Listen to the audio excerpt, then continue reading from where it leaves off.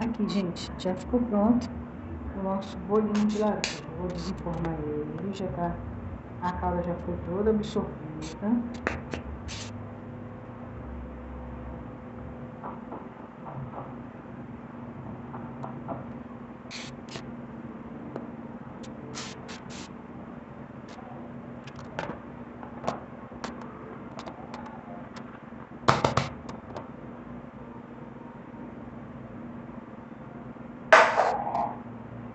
Gente.